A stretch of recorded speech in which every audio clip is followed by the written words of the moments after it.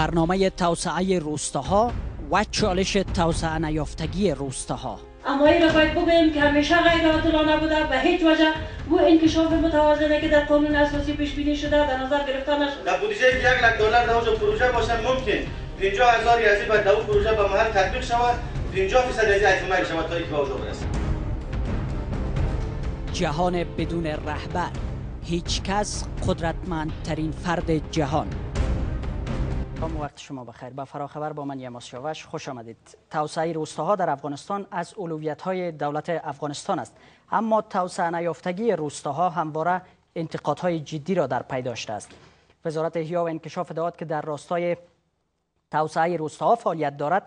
برنامه های انبستگی ملی جاده سازی روستاها توسعه ملی منطقوی و برنامه ملی آبرسانی را در بیشتر ولایات براه انداخته است. برنامه انبستگی ملی که مسئولان این وزارت آن را از موفق ترین برنامه ها می دانند اما از دید برخی ها سبب همگسیختگی میان شهروندان و بیشتر زیر تاثیر افراد بانفوذ اجرا می شود برخی از اعضای مجلس سنا اخیرا با انتقاد از برنامه های وزارت انکشاف دهات این برنامه ها را غیر متوازن خواندند. آیا واقعا در طول همین 12 سال بودجه هایی که در نظر گرفته شده از طرف حکومت عادلانه بوده؟ اما این را باید بگوییم که همیشه غیر عادلانه بوده به هیچ وجه و انکشاف متوازنه که در قانون اساسی پیش بینی شده در نظر گرفته نشده. چون قدرش در وزارت داده شده چون قدرش از سکتور خصوصی در جیب خودش انداخته و چون قدر از همین بودجه در محل واقعا برای مردم افغانستان تطبیق شده. این بسیار گپ مهم است. در بودجه که یک لک دلار در اونجا پروژه باشه ممکن 50 هزار یازی باید در پروژه به محل تطبیق شود. 50 فیصد از اتمام شود تا اینکه به اونجا برسه چالش های توسعه روستایی در افغانستان چیست؟ ویس احمد برمک وزیر احیا و انکشاف دهات افغانستان. اینجا در استودیو با ماست. آقای برمک خیلی خوش آمدین. تشکر. سلامت باشید توسعه روستاها در چه وضعی قرار دارد در حال حاضر در افغانستان؟ بسم الله الرحمن الرحیم توسعه روستاها در شرایط فعلی همونطور که شما گفتین که ما ادعا می‌کنیم ولی ادعای ما نیست. این ادعای مردم افغانستان است و ادعای تمام دوستایی که در حکومت افغانستان کار می‌کنن یکی از برنامه های موفق حکومت افغانستان در طی ده سال گذشته همونطور که شما گفتین برنامه همبستگی ملی بوده. برنامه همبستگی ملی بزرگترین برنامه کشافی حکومت افغانستان است. البته برای توسعه دهات و روستای افغانستان. به می ترتیب برنامه دیگری که شما در مقدمه از او تذکر بردین نام برنامه بوده که به صورت موفقانه وزارت انکشاف داد تانسته به نمایندگی از حکومت خدمات بسیار موثر و خوب در سطح دهات افغانستان عرضه کنه. دیگه به این ترتیب گفته می‌تونیم که برنامه کاری ما به شکل متوازن و به شکل بسیار خوب و درستش. البته طبعا هر قدر که شما کار کنین اشتباهات هست مشکلات چالش ها هست محدودیت ها طبعا وجود می داشته باشه. اما روی هم رفته با همه مشکلاتی که داشتیم پیچیدگی هایی که بوده و مدت که بوده. برنامه ما کارایشان خوب پیش رفته. فعالیت فعالیت های ما در سطح ولایت مختلف افغانستان. ولی آقای برمک شما زمانی که بر روستاهای افغانستان میرین عملا می‌بینین که چقدر از توسعه یافتگی در اونجا بله. خبری است. و خیلی هم این روستاها از روستاهای محروم جهان می‌تونه به شمار بره. در خود جای شک نیست که امو ویژگی های ویژگی که امروز دهات ما داره و وقتی که شما میرین همونطور که شما گفتین ما به قرجات مختلف به ولسوالای مختلف به ولایت به صورت منظم سفر داشتیم و سفر می‌کنم. ما ما خودم شخصا به مراکز ولایت نمیرم. ما سفرهای داشتیم مثلا به بدخشان به تخار به ننگرهار هفته گذشته روز چهارشنبه به ننگرهار رفتیم ولسوالی کامه رفتیم بیسود رفتیم ولسوالی سخرود حداقل در یک روز از سه ولسوالی کوجا حضور داشتیم رفتیم یک دو سه تا پروژه داشتیم 33 پروژه تقریبا در سطح ولایت ننگرهار افتتاح شده بود که دو, دو تاش به شک نمونه ما افتتاح کردیم. تمامش پروژه بوده که عامل منفعه. و پروژه زیربنایی کوچک و تا حد متوسط که در تا حد تانستیم که به مشکلات مردم به نیازمندی مردم برسیم. آره عدم توسعه یافتگی چه هست دلیلش؟ خب شما عدم توسعه یافتگی بلا از ما شما یک کشوری که با همه مشکلات چالش هایی که از سالهای گذشته به ما به میراث مانده بود و این در گذشته افغانستان و در, در افغانستان یک کشور محروم بوده. یک در, در روستاها از ولی این ده سال خیلی وضعیت متفاوت است. این پولهایی که از سوی جامعه جهانی سرازیر شد و اینها پولایی که بودجه که این بودجه؟ که از طریق یا منابع مالی که از طریق کشورهای کمک کننده به اختیار وزارت انکشافات قرار داده شده.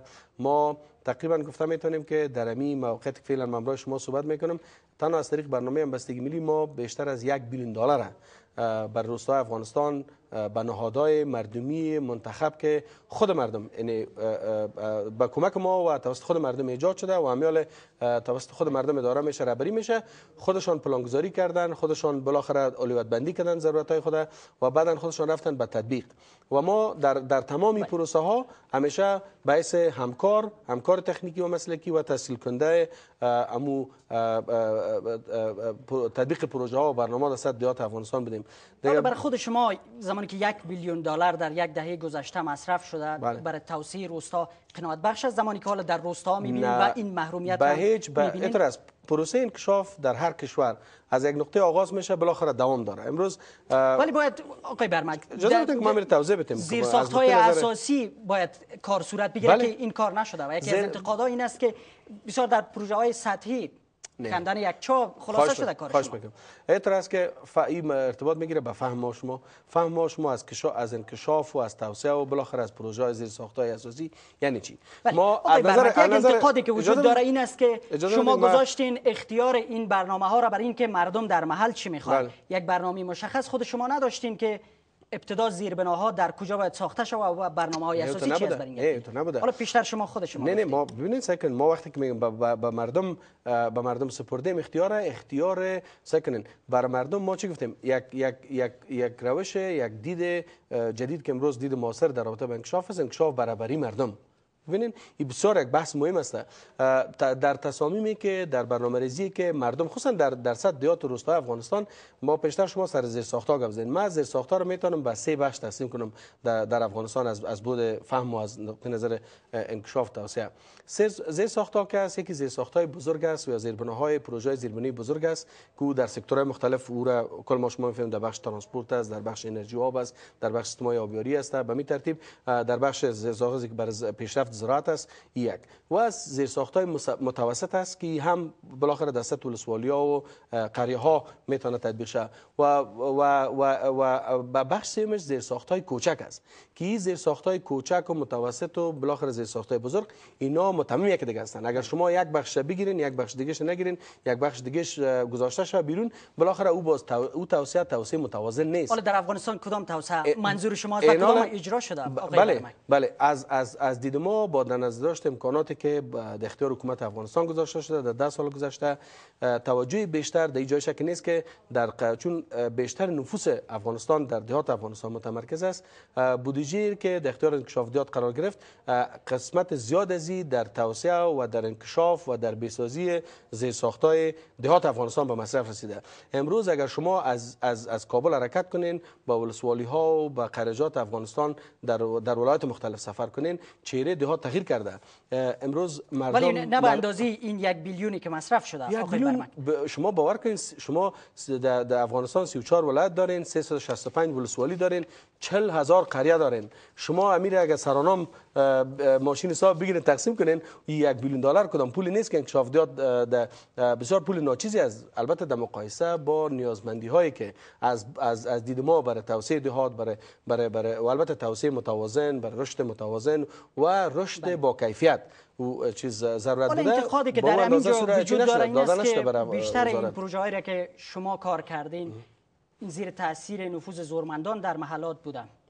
از کوچکترین برنامه ها تا بزرگترین حالا شما میگین این اختیار برای مردم داده شده بله. در حالی که بسیاری ها این انتقاد را دارن که این زورمندان بودن که این برنامه ها را آنچنان که خواستن خودشان به اجرا من نمیفهم گذاشتن. که تعریف شما از زورمندا کیا خواد بود این افراد با نفوذی که حالا افراد این نفوذ، شما زیر اه، خوشبختانه برنامه ما هیچ زیر- تاثیر نفوذ هیچ زورمند نامده تا فعلا ما حتی مثالای از سالهای گذشته داریم سالهای اگر بر بگردیم به سالهای 2004 2005 2006 ما وقتی که برنامه همبستگی ملی در مرحله اول در ولایت تطبیق می‌کردیم در دو سه موردی که در بعضی قریه ها که قبلا قماندان صاحبای مجاهدین ما بودن در اونجا وقتی که خواستن صندوق رایگیری مانده آماده شد متاسفانه رای نبردن. دمو اگر هدفتان از امو افراد باشه خو وقتی که رای مردم مطرح میشه چون رای دادن حق رای دادن یک اصل دموکراسی است که خوشبختانه در سطح دمی فعلا در سی هزار قریه افغانستان که تحت پوشش برنامه همبستگی ملی قرار داره که او تقریبا 75 درصد جغرافی افغانستان تشکیل میده. دینمی سی هزار اگر اگر خدای نخواسته این برنامه همبستگی ملی یا برنامه یا پروژه ما زیر تا تاثیر نفوذ زورمندا قرار می گرفت امروز در دیات افغانستان خدای نخواسته یک فاجعه اجتماعی و یک بحران اجتماعی به وجود می آمد که خوشبختانه امروز خب ما مشکلات رد نمی کنیم ما چالش ها رد نمی کنیم در مواردی که خانها یا ملکا یا به طور مثال یک تعداد قماندان ها در جای اگر برابر شده قمان صاحبا خواستن پروسه زیر نفوذ برن اما ما مردم هیچ وقت زیر تاثیرشان نرفته. این حق مردم بوده رای دادن این چگونه است این پروسه که مردم باید اختیار داشته باشن. تا این افرادی که حالا نام بردین که این پروسه زیر من فهم که برنامه شما قدر حوصله در. در در, در موصله برنامه شامل است که ما کمک امی پروسه موبیلایزیشن اجتماعی که در سطح قریه صورت می‌گیره. البته یکی از خوبیایی که از طریق برنامه همبستگی ملی یا این برنامه از طریق تطبیق شده بوده که حکومت در تصمیم مردم و درای مردم هیچ مداخله نکرده. ولی اون زورمندان که بودن در سر جایشان. حتی زورمندان هم گوش کنید وقتی که ما در قریه داخل میشن در ولسوالی اول ولسوالی به سطح کل یک سروی میشه که در این ولسوالی چند قریه وجود داره. ببینید بعضی تعداد قرارداد تثبیت شد بعضی همکارای تکنیکی ما میرن مردم در مساجد جمع می‌کنن. در اینجا دیگه نه مامور انکشاف دیات مداخله داره نه پلیس مداخله داره نه زوربند مداخله داره. فقط مردم محل خدا کنه که او مردم حتی قماندانای سابقه باشه. خدا کنه که نایم مجاهدین افراد مجاهدین ما در گذشته در قریه بوده باشن. مردم کلش دعوت میشن اهداف برنامه برشان تشریح میشه. باز برشان گفته میشه که شما باید از طریق این یک روندی که یک بخشش انسجام اجتماعی است بخش ظرفیت سازی است و بالاخره بحث انتخابات از دست قریه. تا این مرحله باید شما پیش برین به این شکل. بعد از او انتخابات به شکل میشه که در هر قریه خود قریه بر نظر به تعداد نفوسش به کلاسترهای و علاقات تقسیم میشه. از هر کلاستر یک نماینده انتخاب میشه. باز اونا میان باز دوباره دست قریه صندوق مانده میشه. در اونجا باز کسی نمی‌فهمه کی به کی رای داده. اونجا بحث کاندید شدن. ولی نامزد شدن مسئله مهم است. نه. هیچ دست یگانه یگانه تفاوتی که انتخاباتی که از طریق برنامه همبستگی ملی در شوراها در سطح قریجات برانداخته شده ما بر مردم حق کاندیدشن نمیتیم به مو خاطر است که این برنامه موفقانه پیش رفته. در غیر از خب باز بسیار به مشکلات ما رو بنشه در اونجا اینطور است که یک قریه به 4 یا 5 کلاستر نظر به تعداد نفوس تعیین تعیین میشه. برای هر کلاستر ما برشان میگیم که شما بین خود بشینین صندوق بانین یک نفر نماینده تان انتخاب کنین. یک دفعه انتخابات در صد کلاستر یا علاقه میشه بعد از خب در همین جا شما یک فرد را انتخاب کردین دیگه. مردم انتخاب کردن ما نکردیم. ما فقط چه باشه ما یک نفر انتخاب شد ما تحصیل می‌کنیم. پروسر تحصیل می‌کنیم. در در صندوق راه انداخته میشه. خب، احمد محمود در می‌تونه اگه همین زوردارترین آدم هیچ در هیچ امکان نداره. هیچ امکان نداره. چگونه با چی می‌کنه اگر گوش کنید زوردارترین نفر. اما یک تعداد مجاهدین ما مجاهدین بله. اسبق ما قماندانایی بوده که در دوران جهاد یا دوران مقاومت اینا از صورت بسیار خوب برخوردار بودن. اگر یک کسی در داخل منطقه خود از نیک از از یک آبرو عزت بالا برخوردار باشه و مردم و اعتماد مردم به خود داشته باشه اگر مردم بازم برش رای بده رای بده برش دموکراسی است اگر برش رای بده و او رئیس شورا شوه یا معاون شورا شوه در او ما چی مشکل داریم؟ بنان ولی اگر این برنامه ها را زیر تاثیر خودش قرار بده و دیدگاه خودش یک, یک مثال بر شما می‌تونم دولسوالی بگرام امی بگرام شمالی که بسیار نزدیک هم است ما دولسوالی بگرام سال 2006 بود. ما رئیس برنامه هم بسیگی ملی بودم. رفتیم در اونجا. یکی از قماندانان مجاهدین ما که در وقت جهاد بسیار نقش کلیدی داشته در منطقه مردم اینمی انتخاب کرده بود. شما می‌فهمین اینمی قماندان ما به یک کارمند انکشافی در سطح قریه تبدیل شده بود. شما ببینید که تحولی که از نقطه نظر ذهنی در ذهن قماندان صاحب آمده بود او قماندان صاحب میگه که آل ما یگانه آرزوی من است که اگر در دوران جهاد ما سلا برداشتم مبارزه کردم جهاد کردم آل ما آرزوی دارم که قریه را آباد ببینم ولی اون انتقادا هم شنیدین که در مجلس سنا مطرح شد که در این برنامه ها 50 درصد از اگر برای ساختن یک سرک جاده یا کندن یک چاپ به مصرف می‌رسم 50 درصد دیگه از این متعلق به اون افرادی است که سیاوش ما همیشه اگر در شورا رفتیم در ما با, با, با احترام به نظریات و انتقادات دوستایی که در ولسی جرگه بوده چه در مشران جرگه بوده.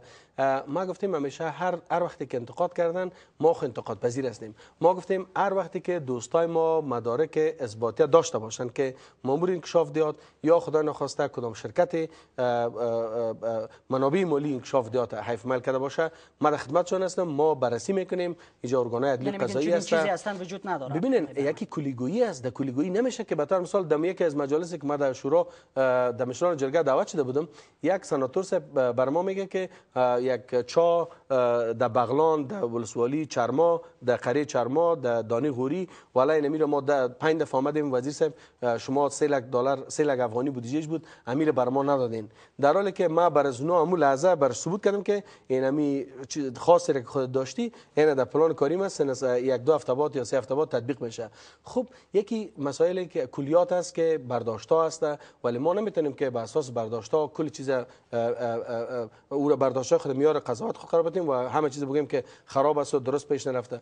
امروز شما برین در قراجات دوردست افغانستان از زبان خود مردم بشین داکیومنتری ها مستند جور شده. یک انتقاد دیگری که وجود داره که برنامه همبستگی ملی به جایی که یک همبستگی را ایجاد بکنه بیشتر این هم گسیختگی میان شهروندان ایجاد کرده. داخل جا هم شما می‌تونید در مطبوعات ببینید این ما کدام مواردی را تابار از کدام ولسوالی یا از کدام ولایتی که خدا نخواسته برنامه همبستگی ملی اینمت یک حالت به وجود آورده باشه ما پیشخود ندارم. مشکلات اجتماعی پیدا شده؟ آیا این از نبود اطلاعات نزد شما است یا واقعیت چیز دیگه ما باعث وزیر انکشافیات ان شاء الله اطلاعات ما در صد تا سر افغانستان از می 30000 قریق زیر پوش ما است ما ریاست های ما به مقایسه حتی بگیم در سطح ولایات فعالترین ریاست ها از ما است ظرفیت ما تا سطح ولسوالی و قرجات ان وجود داره. اطلاعات ما منظم معلومات ما بر ما می‌رسه. ریاست رابط ولایت داریم. رئیس های ما روزانه گزارش از تمام ولسوالی ها ولایت جمع میشه توحید میشه به هیئت رهبری وزارت روزانه تقسیم میشه. ولی این نگرانی که در مورد این که در هر جایی که همبستگی نشدن؟ هیچ فاز خدا ما تا کدام مشکلی را ندیدیم. در بعض موارد یکی دو سه تا مورد گفتن نمی‌تونم که او در یاد اینمی طرف قندوز یک دو مورد بود و او روز ما که رفته بودم در اونجا یکی از خبرنگارای اومد گفت که چیز است. در یکی از قرجات ولی این برنامه هم بستگی ملی باعث امی چی شده قسم شما گفتین هم گسیختگی شده. باز ما گفتم خیلی دم هر قریه کس گفتم من ما به تعهد بر شما میگم. کابل رفتم ما تیم خود روان می‌کنم. شما امرای تیم مو از کابل برین در اون منطقه برین. اگر خدا نخواسته از زبان مردم معین چیز شنیدیم که امت یک واقعا یک گپ شده بود باز ما روش خود سر در روش خود نمی‌کنین نیاز است یک بررسی کلی انجام بگیره در تمام برنامه ها چیز دیگه که ما بر شما میگم. برنامه وزارت انکشاف دهات هر شش ماه زیر بررسی قرار می‌گیره. این بیخی منم براتون میگم. بس این شکایت ها چگونه برای شما تمام شکایات که بر ما می‌رسه ما در سطح برنامه یک یونت داریم به نام یونت رسیدی به شکایت مردم. تمام شکایتی که از هر ولسوالی و از هر ولایت بر ما می‌رسه ارجه بر چیزی که باشه. عاجل اونجا تیم ما تیم شکایت ماست برای رسیدگی میشه. حتی از کابل تیم ما میره به خود ساحه. به خاطر از اینکه بعض دم مورد تو برداشت میشه که گویا در سطح ولایت شاید تیمای ولایتی ما مشکلات بر ما به شک شاید بازش نگن. ولی ما از اینجا از کابل روان می‌کنیم تیم خود. میرن مشکلات بررسی می‌کنن. می‌بینیم که آیا واقعا مشکل کدام؟ مشکل اجتماعی بین مردم بوده یا اینکه از مشکلات به ما نسبت داده میشه. هر تا حالا چقدر بررسی شده؟ از این موارد باور کنیم که شاید گفتم می‌تونم در این قسمت نمی هم گسیختگی شما عنوان کردین. شاید یک ده یا 15 مورد در در طی ده سال گذشته به این شکل آمده باشه که خدا نخسته برنامه هم بستگی ملی باعث هم گسیختگی مردم شده باشه. ولی برداشت ما است در طول ده سال گذشته ببینین یا بزرگترین خدمتی را که بزرگترین خدمتی که در افغانستان شده سیاوش بی است که از طریق برنامه هم بستگی ملی ما تانستیم این ملت از هم پاشیده را از پایین به بالا متحد بسازیم. ما او سر وحدت ملی که سر نیشن بلدینگ و سر ملت سازی از پایین به بالا کار شده ما فکر می‌کنم که از از بالا قدر به پایین کار شده باشه. شما یک دفعه به قرجات که برین شما می‌بینید که مردم در ولسوالی شکردره و گلدره شما برین در کوی بالا و پایین شما برین. سعی کنید که مردمی که تقریبا خود شورا 37 موردی که حتی خشونت های من چیز بوده ذات البینی بینشان بوده دشمنی بوده دشمنی خونی بوده دشمنی تنظیمی بود از گذشته. مردم با هم ششته. خود این شورای دکوی پایین است. بالاست ما یک دفعه رفته بودم. برای من 37 کسه. یعنی مال صدا مرا مینا میشنن اگه بشنن. 37 مورد برای من پیش کردن. گفتن ما این 37 مورد خود ما. در بخش کانفلیکت رزولوشن یا حل منازعات کسته. با استفاده از مهارتایی که ما برشان در جریان ظرفیت سازی برشان درس میتیم آموزش میتیم اینا آموختن و مشکل 37 بله. مورد حل کردن و گفتن که ما به خاطر از که چون خود ما تانستیم مورد حل کنیم به به سانوالی و به قضا نرفتیم به خاطر که فکر می‌کنیم که شاید اینی کیسا و این موارد اونجا طول بکشه. حالا نگرانی جدی که مطرح است. عدم توازن در تخصیص این برنامه ها است به ولایات مختلف. چرا این عدم توازن وجود داره گرچه برنامه هم بستگی ملی در طول امی ده سال گذشته پشت ملی داشته. هیچ جایی از افغانستان هیچ ولایت از افغانستان باقی نمانده که برنامه در اونجا نرفته باشه ولی متوازن نبوده. متوازن بوده. متوازن بوده. سعی کنیم پس اون انتقادا را شما شنیدین در مجلس سنا بله اون انتقادا گفتن که توازنی وجود نداشته نه توازن خب بازی تر است. تعریف ما از توازن چی است؟ ببینید حالا برخی از ولایات عملا شکایت دارن از این که رسیدگی نشده آنچنانی که به جاهای دیگر تا جایی که خب او البته شاید سر کل حکومتی بسشان باشه اما در خب چرا در برنامه های شما این گونه باشه اما در برنامه ما نیست فضل خدا. در برنامه ما یک سلسله بعضی کمبودی های که بود در گذشته سال گذشته ما در طول ده ماهی که فعلا مسئولیت وزارت به گرفتیم برای سال 1392 در تمام برنامه ما برنامه هم بستگی ملی خب به شکل متوازن قبلا هم عملی شده و پیش رفته. ما در بخش برنامه سرکسازی ما در بخش برنامه آب آب آشامیدنی ما و در میتو بخش برنامه انکشاف منطقی ما. اینی برنامه بودجهش و برنامه‌اش کل به شکل متوازن بر سال 92 جور شده ترتیب شده. در تا در سطح ولایت ولسو هر ولسوالی در نظر گرفته شده که با دوجه یا سرک جور شوه یا پل جور یعنی پیش از این اون توازنی که نیاز بود وجود نداشته در تا تا حد نه من باید اذعان کنم. خب اعتراض که مسئولیت فرق می‌کنه. ما حالا فعلا مسئولیت رهبری وزارت انکشاف دهات به دارم و مطابق با اون ماده 6 قانون اساسی ما مکلفیت داریم که باید انکشاف به صورت متوازن و منابع مالی به صورت متوازن به ولایت افغانستان تقسیم نشده بود در برنامه تا حد زیادی بوده ولی یک سلسله خلا کمبوداتی که بوده در گذشته ما فقط کوشش کردیم که او را رفع کنیم. فقط همه قدر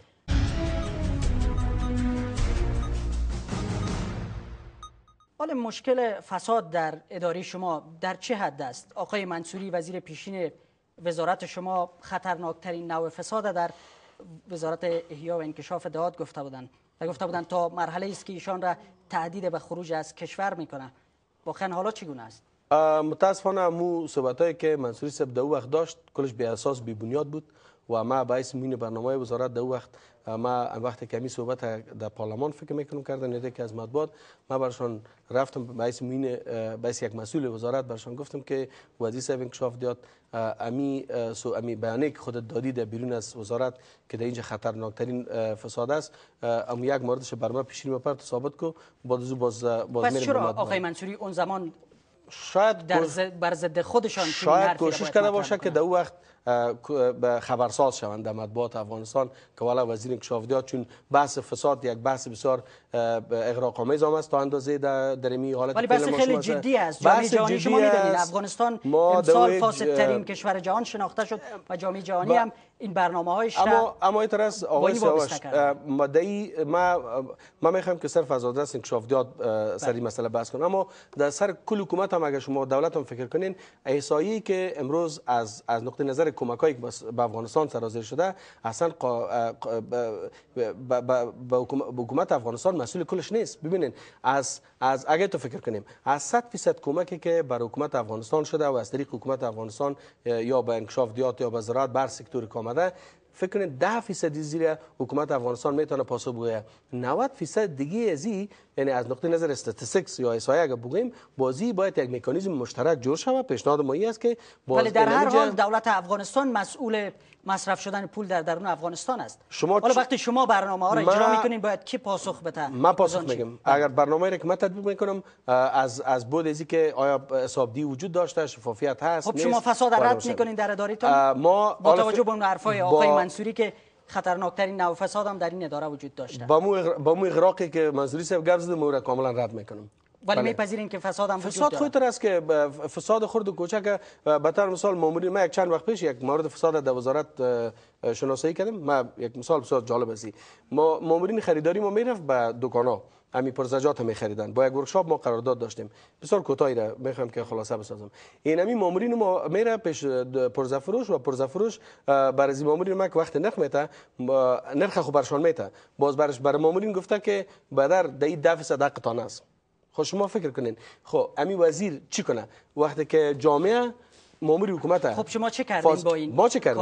با, مجرد که ما این قضیه را کشف کردیم و چیز اه، اه، ما هیئت دیگه تعیین کردم باز دوباره رفتیم به market نرخ- نرخگیری کردیم. تقریبا حدود 8 لک و چند هزار افغانی تفاوت آمد در قیمت ها case روان کردیم به سارنوالی حالا case زیر بررسی سارنوال صاحب است امیدوار هستیم که سارنوال صاحب هر قدر زودتر این case به نفع حکومت افغانستان این فیصله کنن. خدا ناخواسته به نفع چیز نشه که به نفع همون کسی که دزدی هم کرده باز پسان پاس کدام جنجال باز بر, بر ما در وزارت پیدا شه.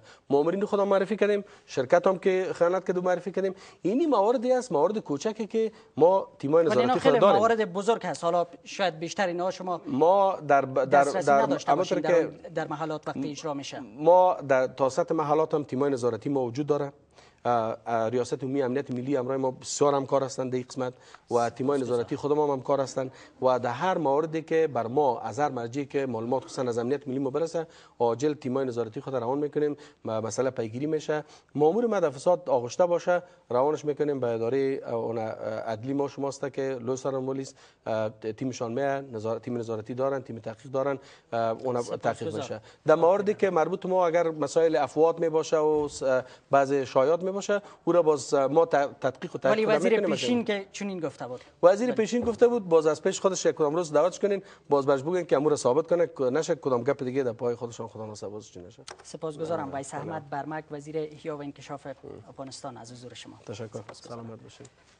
و اندیشکده بین المللی گروه اوراسیا رتبه اول فهرست قدرتمندترین افراد جهان در سال جاری را به هیچ کس نوبادی اختصاص داد. هیچ کس منعکس کننده یک جهان بدون رهبر است با گزارش پایگاه خبری راشد توده یان برمر رئیس گروه اوراسیا که اندیشکده سیاسی و بین المللی است توضیح داد که قرار دادن جای خالی برای فرد اول در فهرست به این دلیل است که جامعه مدرن هیچ رهبر مشخصی ندارد و کسانی که در قدرت هستند تنها به مسائل داخلی و یا منطقه‌ای تمرکز یافتند و به چالش های جهانی توجه چندانی ندارند. فهرست منتشر شده از سوی مجله فارین پالیسی توانایی های افراد را برای ایجاد تغییراتی که به طور قابل توجهی در زندگی و سرنوشت تعداد زیادی از مردم اثر گذاشته رتبه بندی کرده است. ولادیمیر پوتین رئیس جمهوری روسیه رتبه دوم این فهرست را از آن خود کرده است. رتبه دوم برای پوتین به این دلیل اختصاص یافته که روسیه سیستم شخصی خاصی دارد و به همین موجب نفوذ این کشور در سراسر منطقه شده است. رتبه سیوم از آن برنانکه رئیس ذخایر فدرال آمریکا شد چرا که وی تلاش بسیاری برای خروج آمریکا از بحران و نیز گسترش اقتصاد جهانی ایفا کرده است. و انگلا مرکل صدر اعظم آلمان و باراک اوباما رئیس جمهوری آمریکا نیز به ترتیب رتبه چهارم و پنجم را از آن خود کردند. رتبه هفتم نیز متعلق به ماریو دراگی رئیس بانک مرکزی اروپا شده است. سپاسگزارم از همراهیتان. خدا نگهدار.